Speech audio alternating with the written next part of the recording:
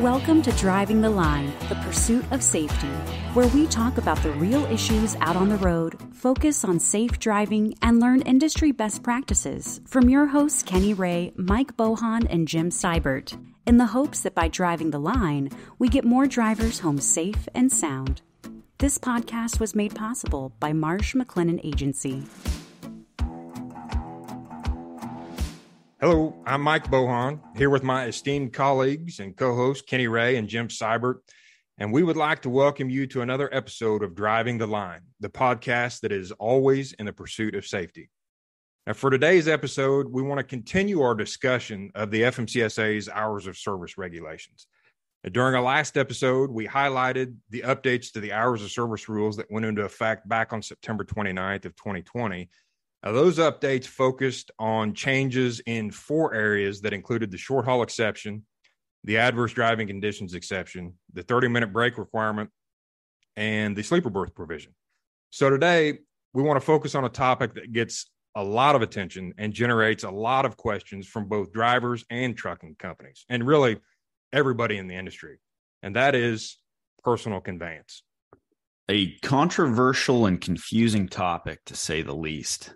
No doubt about that, Jim. And what makes it so controversial and so confusing is the fact that this is a provision that industry is wanting to use and use a lot. And we have very little regulatory guidance from FMCSA. In fact, all they've given us are a list of questions and a frequently asked question, an FAQ that's found on their website and we are totally dependent on the guidance from that set of questions. So the confusion comes from the fact that you've got industry craving to use this provision, and we have very little regulatory guidance coming in from FMCA. And that's where we end up with the confusion. Yeah, you're exactly right, Kenny. I don't know how many times I have stood in front of a group of drivers at a safety meeting or sat down with an owner or a safety director and said those exact words we don't have much, but this is the guidance we have to work with.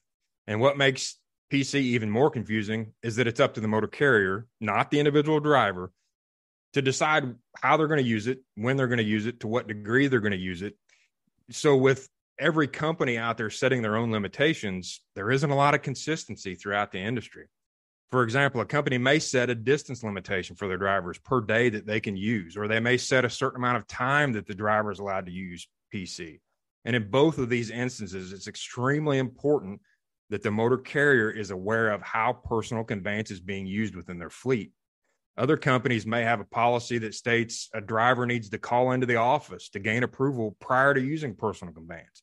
And in this instance, it's going to be vital that whoever is on the other end of the phone talking with that driver understands what the regulations are and what the personal conveyance guidance is that's been provided by the FMCSA to make sure the drivers remain compliant with the hours of service regs. I mean, we we were just having this conversation the other day about a carrier that had this. We had this question come in where um, sometimes there's a there's a breakdown within the company about you know what does operations think about personal conveyance or what does safety think about personal conveyance. We need to understand what the guidance is and make sure that everybody's on the same page within our company.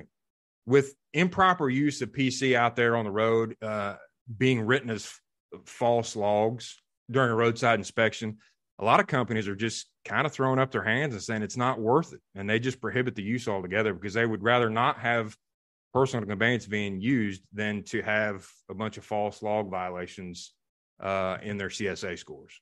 Yeah, Mike, it's a regulatory minefield to say the least. So let's take a few minutes and discuss the FMCSA's frequently asked questions. So, question one May a driver who drops his or her last load at a receiver's facility use personal conveyance to return to their normal work location, i.e., home or terminal? The answer is no. Returning home or to the terminal from a dispatch trip is a continuation of the trip and therefore cannot be considered personal conveyance. So, question two on this list reads the guidance allows for authorized use of a commercial motor vehicle to travel home after working at an off-site location. What is meant by the term off-site when used in this context? Now, the guidance says the term refers to a location other than a carrier's terminal or a shipper's or receiver's facility where a driver works for a temporary period for a particular job. Specifically, this term is intended for construction and utility companies that set up a base camp near a major job or and operate from there for days or weeks at a time.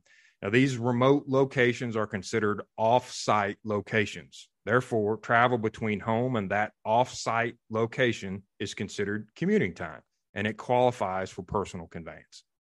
And you know, guys, y'all, y'all just covered the two most controversial uh, questions on the, and those are the two we get the most most questions about. Uh, the third one is one I've actually never been asked, but y'all both know I'm an old hazmat guy and I like this one. The third question that F, uh, FMCSA put on the FAQ is this Is personal conveyance treated any differently when the driver is hauling hazardous materials? The answer is no.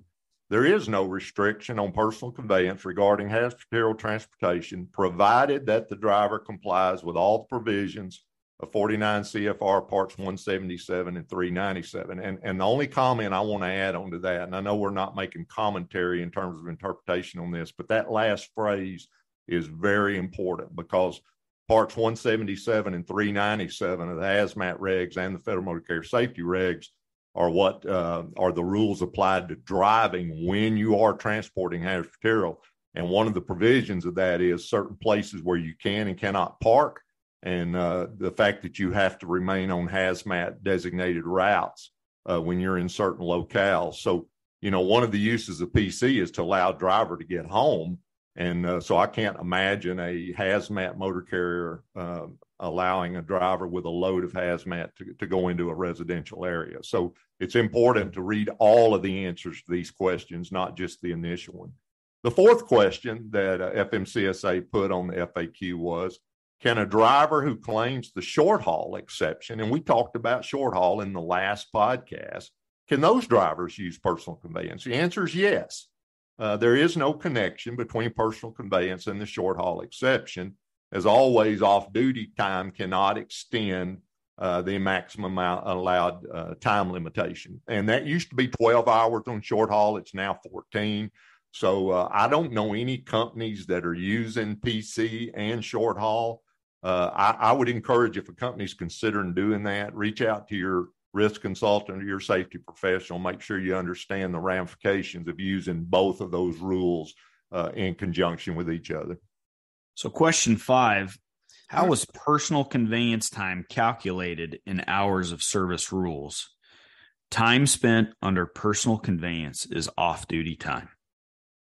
Question six on the list says uh, May a driver use personal conveyance when they run out of available hours, either driving or on duty time?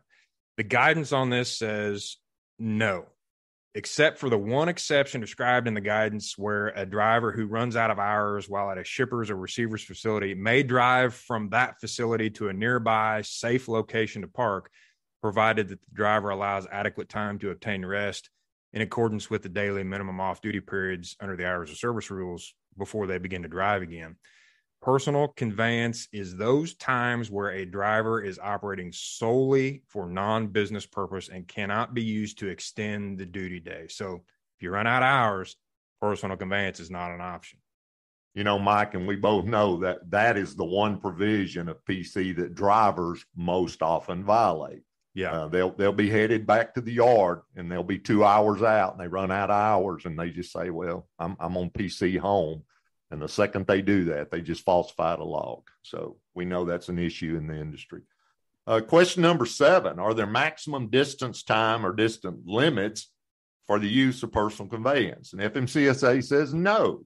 Uh, however, it is important to note that the provisions in 392.3 of the Federal Motor Carrier Safety Regulations prohibit the operation of a commercial motor vehicle while fatigued uh, continues to apply. Therefore, a driver must get adequate rest uh, before returning to driving. So it's important to remember that even if a company is utilizing personal conveyance, they and their driver are never exempt from operating that vehicle safely. Question number eight. If a driver picks up the commercial motor vehicle from a repair facility once repairs are complete, would the driver be allowed to use personal conveyance to their residence from the repair shop? No.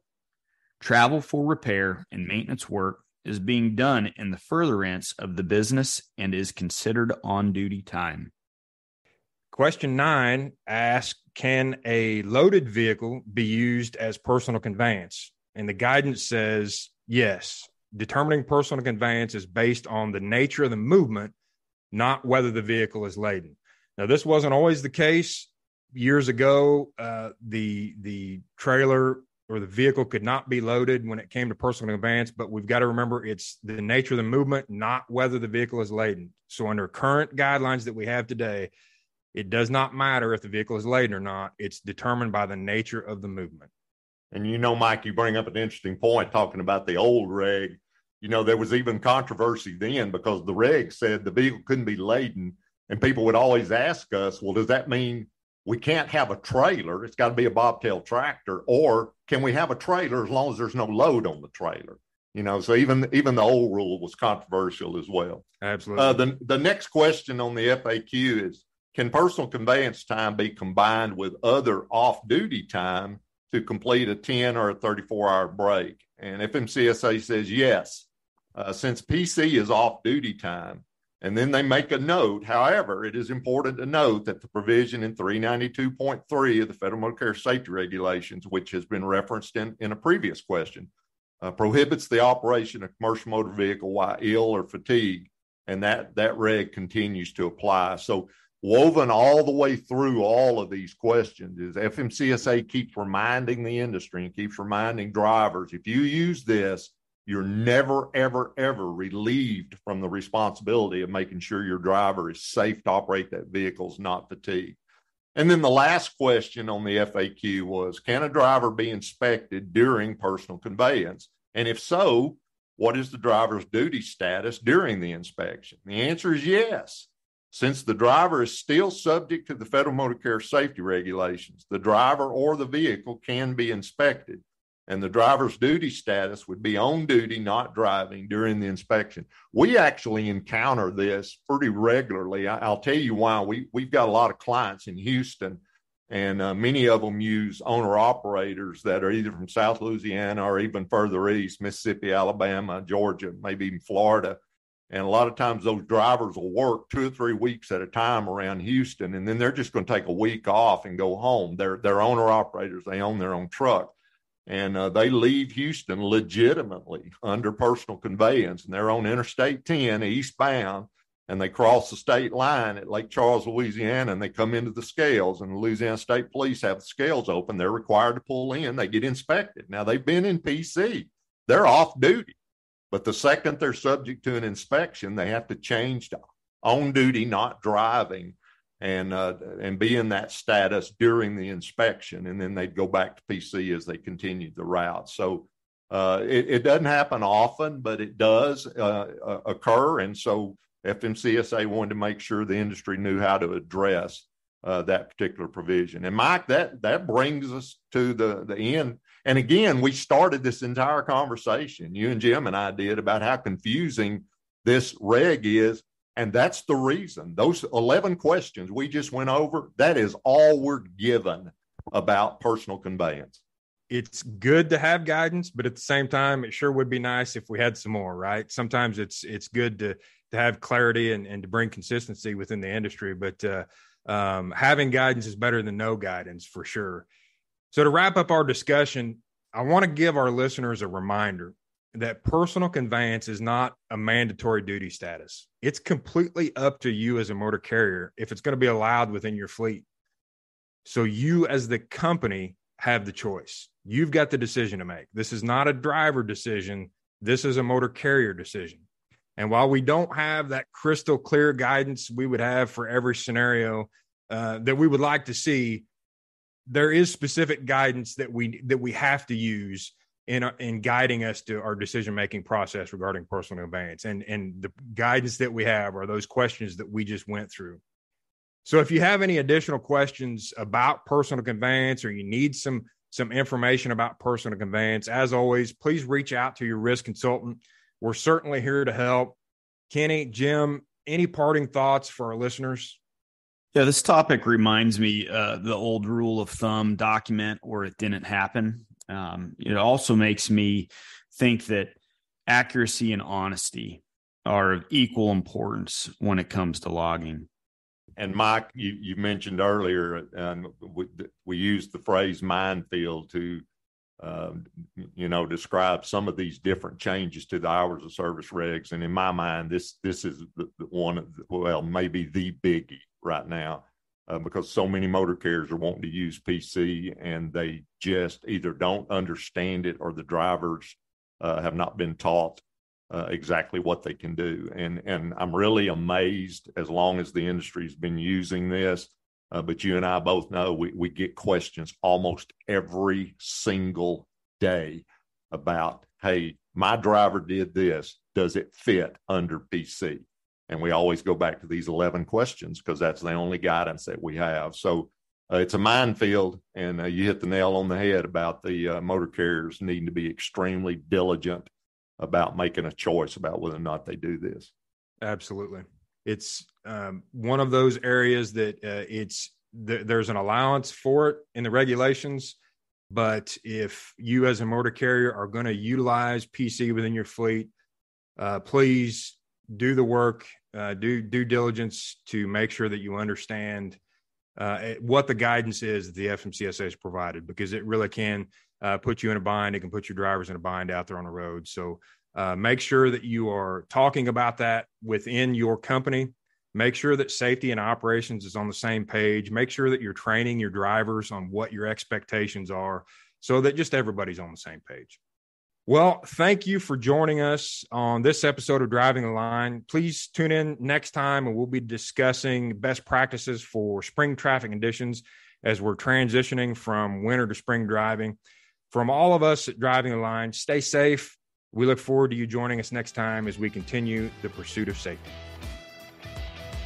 That's all the time we have for this episode of Driving the Line The Pursuit of Safety. We hope you enjoyed our discussion and thank you for listening. You can rate, review, and subscribe to Driving the Line The Pursuit of Safety on Apple Podcasts, Spotify, Google Podcasts, or any other app you're using. You can also follow Marsh McLennan Agency on LinkedIn, Twitter, and Facebook. Until next time, thanks again for listening. Drive safely, everyone.